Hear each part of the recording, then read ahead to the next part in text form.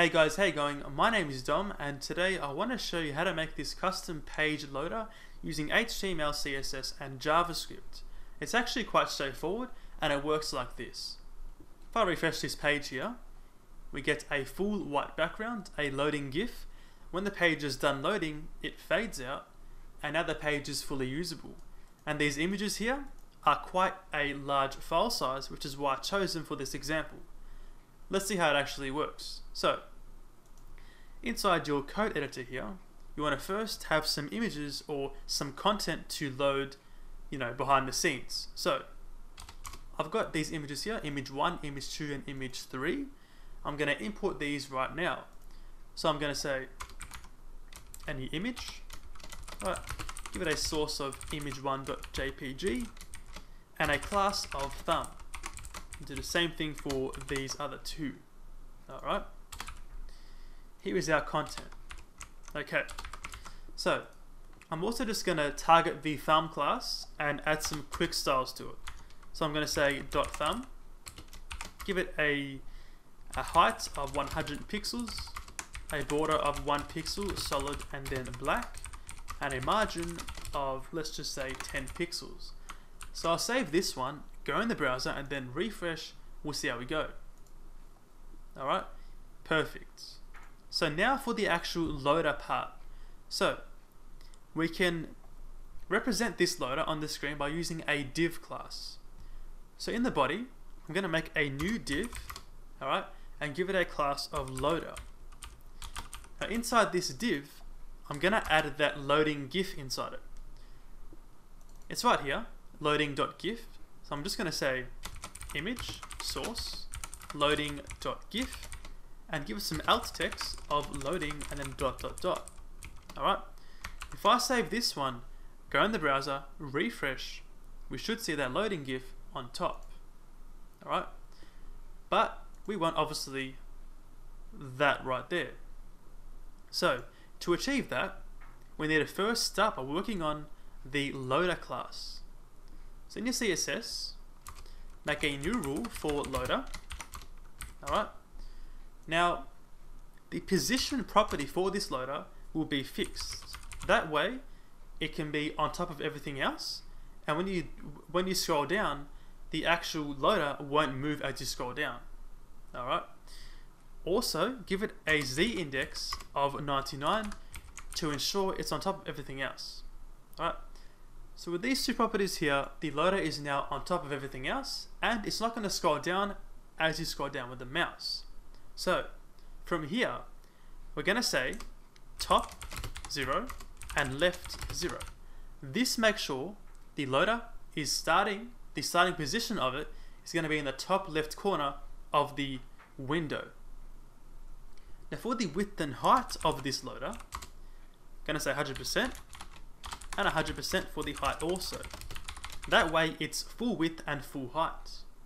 Alright, now for the background color, for now we're going to make it red to see how it looks.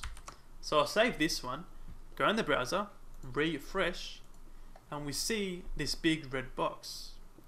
Now for the loading GIF, we're going to make it centered. To do this, we can use the Flexbox display on this loader. So we'll say display and then flex. We'll save this one, refresh, and we get this right here. So to center this, we can use the justify content property, and this will center it um, horizontally. To center it vertically, we use the align items property and make that center also. If I save this one, refresh, we should we we should see that right there. I'm also just going to add some width to this um, loader to make it a bit smaller. So I'm just going to say, sorry, this um, this GIF, make it small. We'll say um, loader and then image. I'm going to say width of 100 pixels. Also, make this background white to match the background of this GIF here. I save this one, go in the browser, refresh, we get the desired, sorry, the desired effect. All right.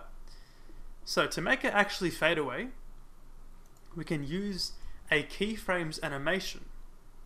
We can define this one down here. So we'll say keyframes. We'll call this one fade out. Now by default, in this loader, the um, the opacity and the visibility CSS properties are going to be 1 and visible respectively. So for this keyframes animation, we're simply just going to say at 100% we want the opacity to be 0 and the visibility to be hidden. So by default, at 0% behind the scenes, it's 1 and visible. We're saying 100% make it not visible here, opacity, and also visibility hidden. And that will actually hide the image itself, or the, the div loader itself. Now, to actually make that animation happen, we can add a new class to this loader class. So we're going to say loader dot hidden all right animation fade out. It'll take one second. Okay. Also we're going to use the animation fill mode property here and give it the value of forwards. And that right there makes sure that once this animation is done these two properties stick and maintain themselves okay so now using JavaScript here we're going to apply the hidden class to this loader when the page loads. Alright? But for now, let's just give this loader here the class hidden to see the actual effect. So I'll save this one, go in the browser, refresh, and we get this right here. It fades out straight away because there's no actual JavaScript here yet. So, there we are. For the JavaScript part, make this back to just simply loader, okay? For the JavaScript, we can add a simple event listener. So we'll say window dot add event listener. On the load event, we want to run this function. Alright. This function here is going to first get a reference to the loader div. So we can define a new constant down here. We'll say const loader equal to document dot query selector and pass in the dot loader class. And that gives us the loader elements.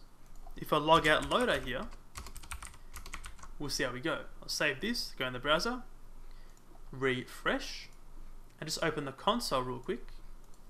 We get loader right there.